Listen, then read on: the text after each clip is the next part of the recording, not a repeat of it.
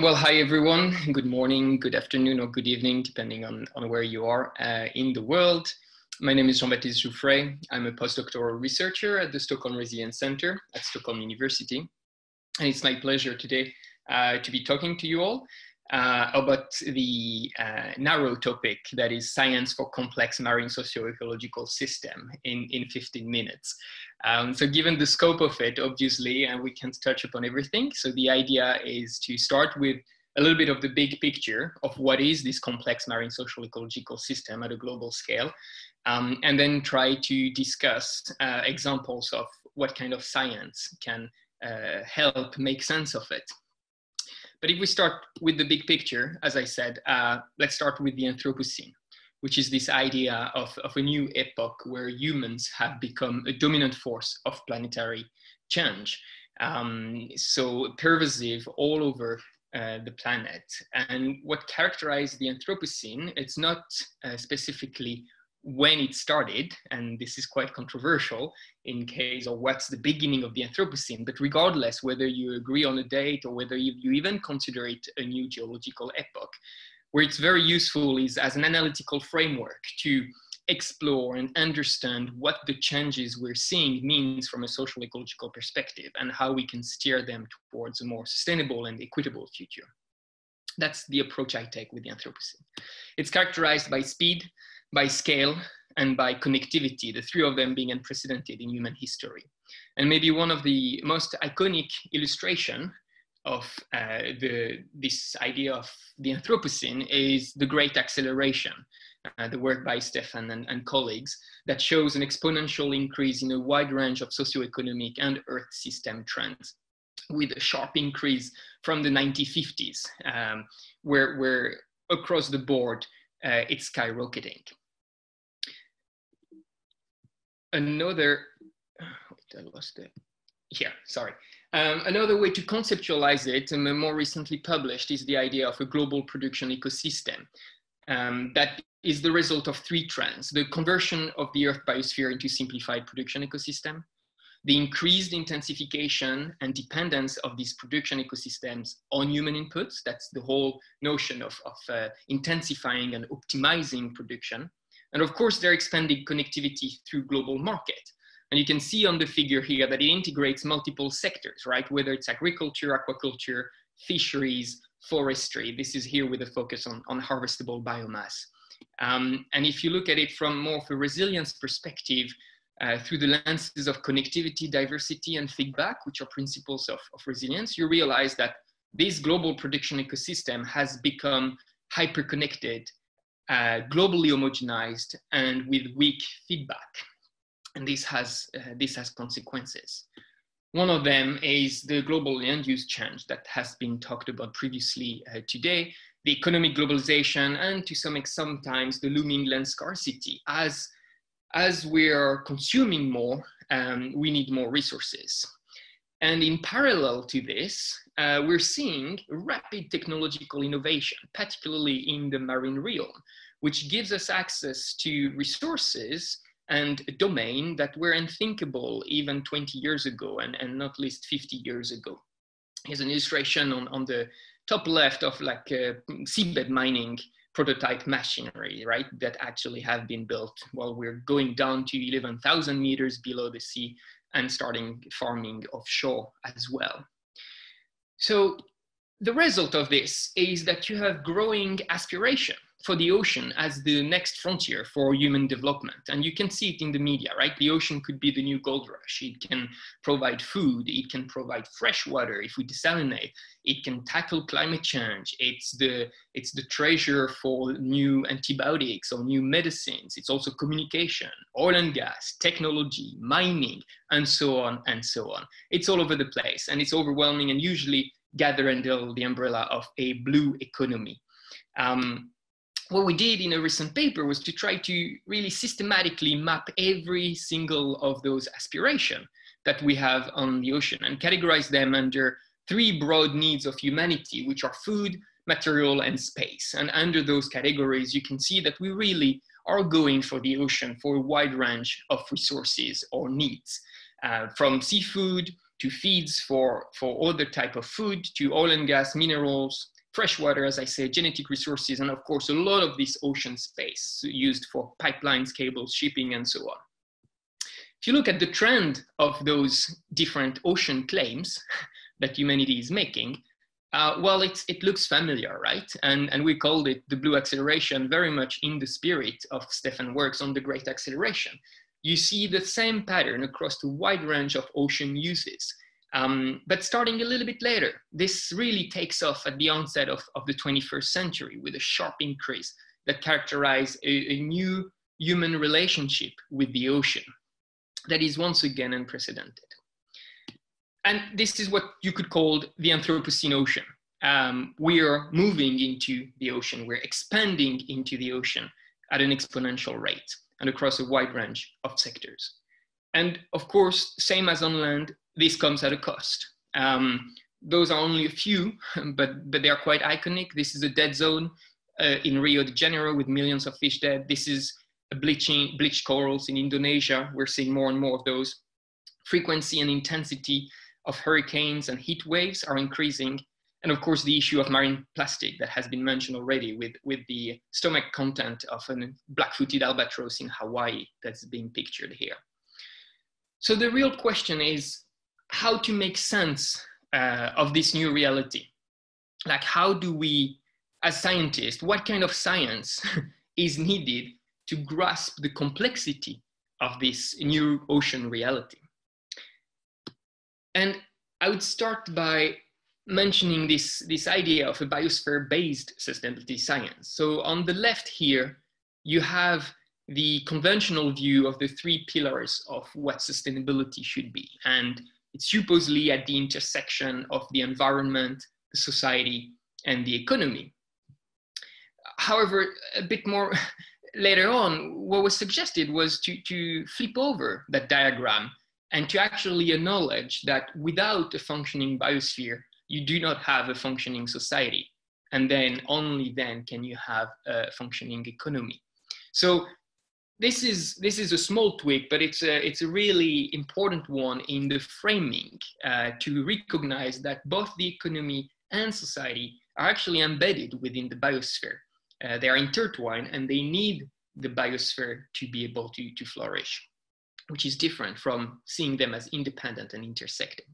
And this is something you you find a lot in the visualization of the 14, 17 sustainable development goals, right? And here it's goal 14, life below water, that is the focus of this slide.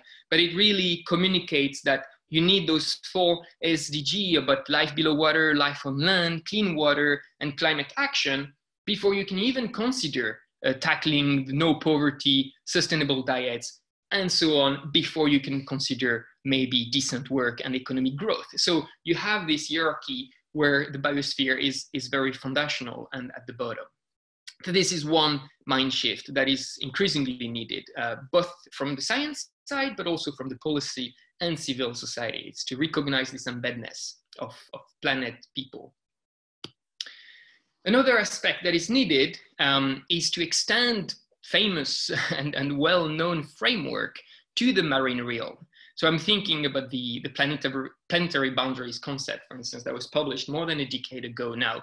And this paper, uh, three years ago, making the point that you need to better integrate marine system within the planetary boundaries framework. Otherwise, you're missing key variables that, co that contributes to, to ecosystem biomes.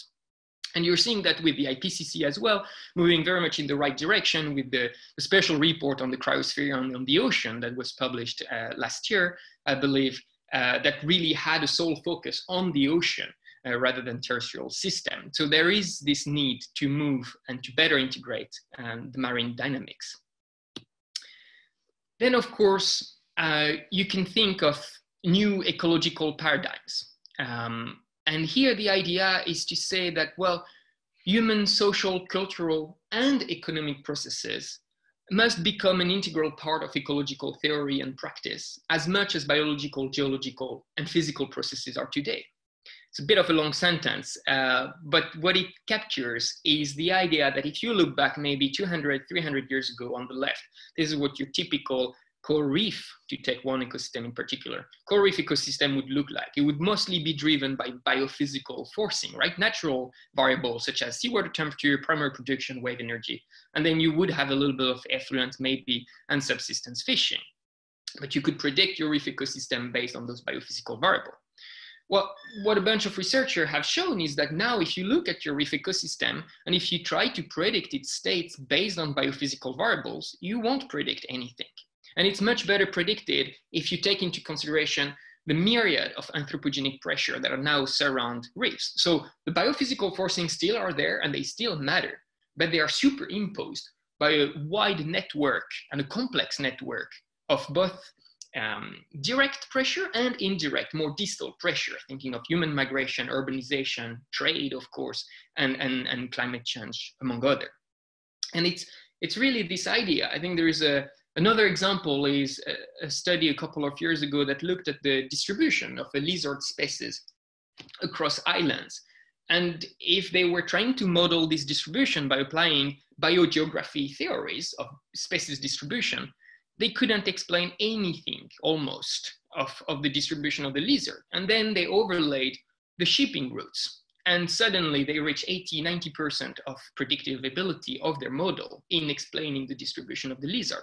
So we have to accept that. We have to accept that maybe ecological paradigms that were developed and valid 50 years ago need to be revisited. Uh, that doesn't mean they're not valid any longer, but that means they need to be complemented. So there's a lot of work here to, to integrate the human, cultural, and economic dimensions to ecology itself. Another way to look at it um, is, is this paper entitled Marine Ecosystem Science on an Intertwined Planet by Osterblom and colleague that really shows a little bit the same spirit that you do have your marine system and then you have this layer of proximate direct interaction and that could be different type of pressure from fishing pollution to, to ocean acidification. And then those ones are ultimately dictated by a more distal set of, uh, of interaction going from geopolitics to finance to technology, human migration. And that you really need to look across that whole spectrum to actually make sense of what's happening in your marine ecosystem. If you just look at your one species and just look at one stressor, you will miss a lot of the picture. And that doesn't mean you need to be able and have the skills to do all of that yourself. But I think it talks and it speaks to the capacity of collaborating uh, increasingly to address the challenges we're facing. And that's spontaneously the first step would be interdisciplinary research, right? I have my own skills, I have my own domain of expertise. How do I collaborate with another scientist that has different skills and can bring a different expertise? That's the idea with interdisciplinary research. Uh, an example I really like is, is this opinion piece published a couple of years ago in trends in ecology and evolution saying, well, why ecologists should care about financial markets, right? That's not, at the time especially, well, that wasn't a very straightforward, uh, and there was no straightforward answer. And that was making the point that ecologists should care.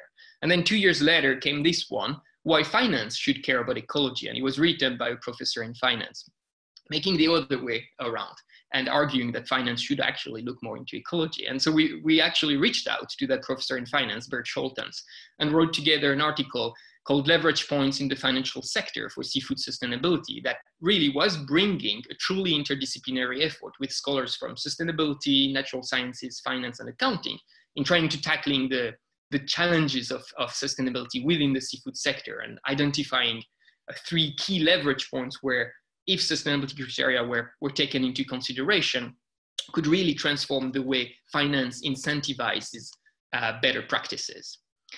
Now, beyond interdisciplinary lies transdisciplinary research. And I think this is the, the most relevant maybe in the context of, of this introductory webinar about science, policy, society interface, because the idea of transdisciplinary research is to move beyond the bridging of academic disciplines to also engage with society with stakeholder such as policy, governments, or civil society actors, and to co-produce knowledge. So it's not just a top-down science to stakeholder, but it's really capitalizing on a wide variety of knowledge. It's, it's what Maria Tengö called the multiple evidence-based approach, right? Which tries to synthesize and uh, harness all kind of different knowledge, recognizing that they all have value and they enrich what you can do and how you can solve problem. Albert Norström at the beginning of the year and other people, including Chris, that we will talk after, uh, published also this paper about principles for knowledge co-production in sustainability research, right? How do, how do you go about co-production? Because it can be quite intimidating when you're in, in your scientific ivory towers to just break the walls and, and engage engage with uh, real world. and so they light up a set of principle uh, arguing they need to be context-based. The, the, the co-production needs to be context-based. It needs to be pluralistic, of course, recognizing the different knowledge and the different people around the table, goal-orientated and interactive. Uh, which brings me to the fact that if, if you want to interact, please raise your hands and engage uh, after the presentation. I would be more than happy to, to discuss with you, and so will Chris. Another example of that uh, is this uh, emergence of a global science business initiative for ocean stewardship, like the Seafood Business for Ocean Stewardship, SeaBOS initiative that was created four years ago when a group of scientists decided to engage with the 10 largest seafood companies in the world. And that's quite unusual because when you think of co-production of knowledge, you often think of traditional knowledge, which is absolutely critical, or small scale artisanal fishers, for instance. Um, but the, the big transnational corporations are often seen as the evil, right? It's like this, this is the industry. Yet the private sector is uh, crucial if we are to shift into a more sustainable world. So in a, in a paper over the summer, um, again, like we discussed this, like science industry collaboration, is it a sideway or highways to ocean sustainability? And we really ponder the pro and cons because I think uh, it's promising, but ones need to be aware of, of the caveats to engage with such powerful and influential actors, of course, but worth exploring. And this is my uh, final slide um, to conclude and, and, give the floor to, to Chris, who will talk more about the type of scientist uh, that is needed to, to conduct that research. And this is a quote from Robert Kates, uh, the father of sustainability, you could say, um, who argued that sustainability science is a different kind of science that is primarily use inspired with significant fundamental and applied knowledge components and committed to moving such knowledge into societal action. And I think his point is that the real test of success of sustainability science will be in implementing its knowledge to meet the great environment and development challenges of this century. So how do we do that? And how can scientists, whether early career, mid-career, or late career, actually become change makers? Uh, thank you very much.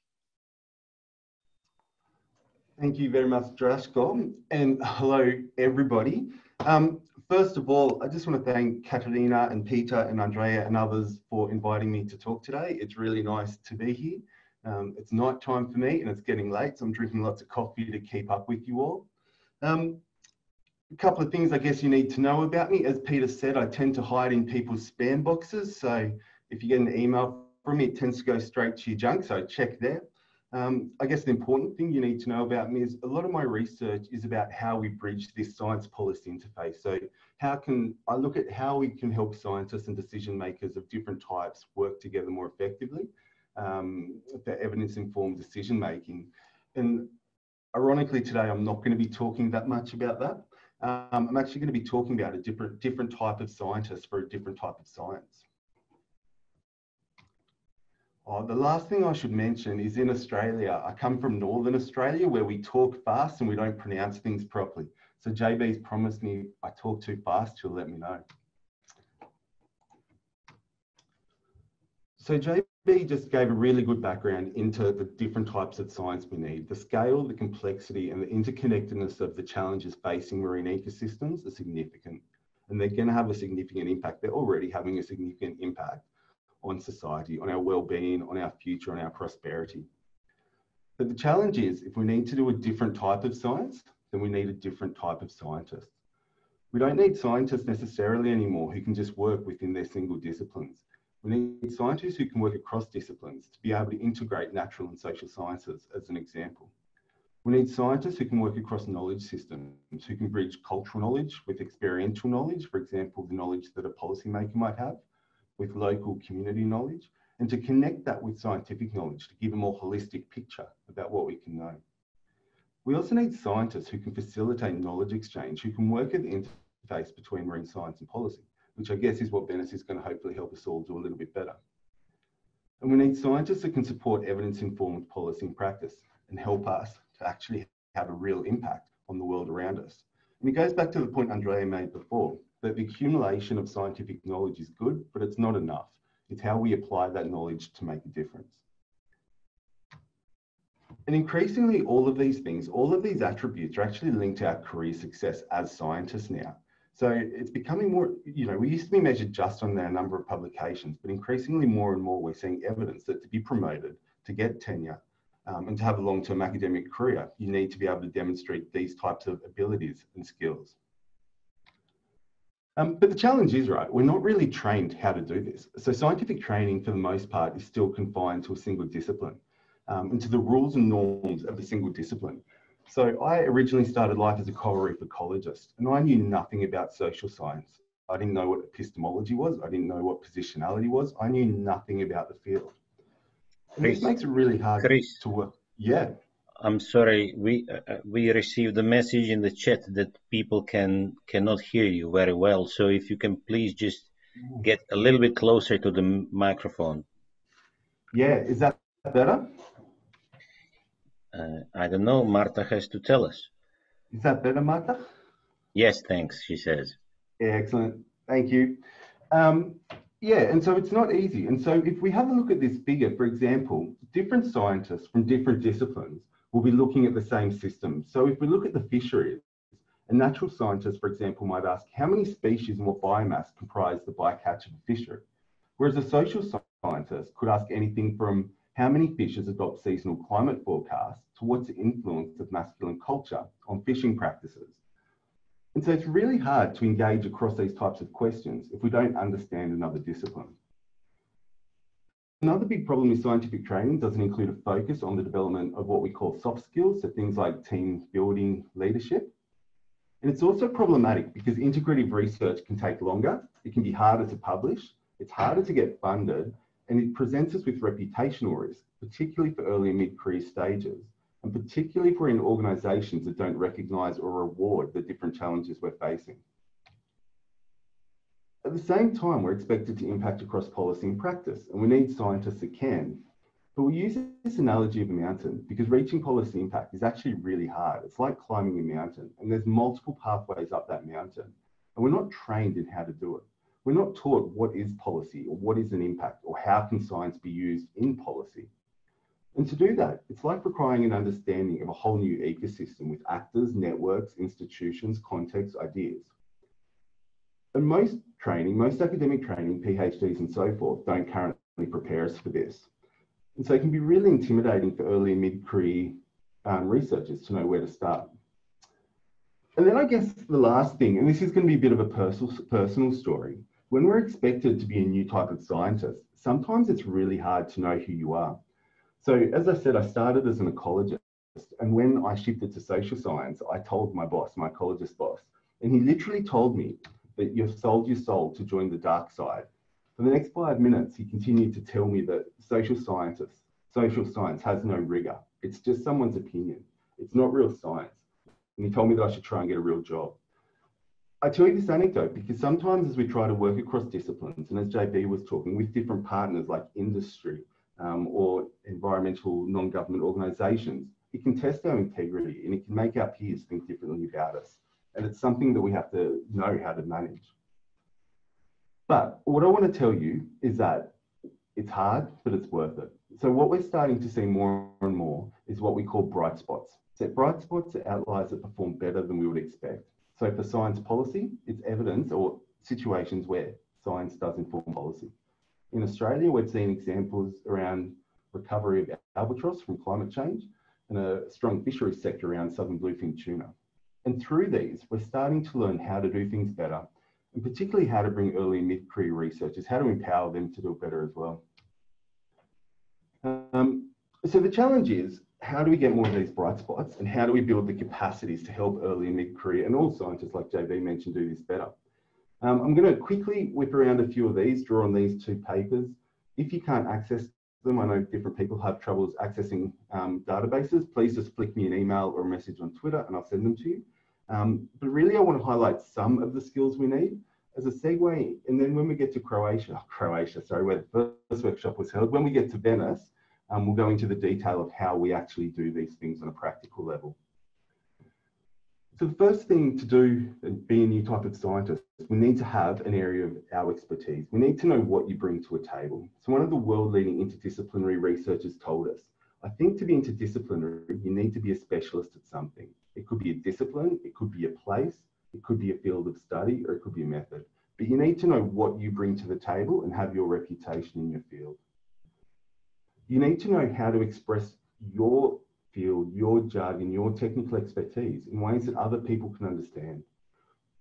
And this point's going to come up a lot. You do this by seeking to understand and then be understood, and using things like metaphors and analogies.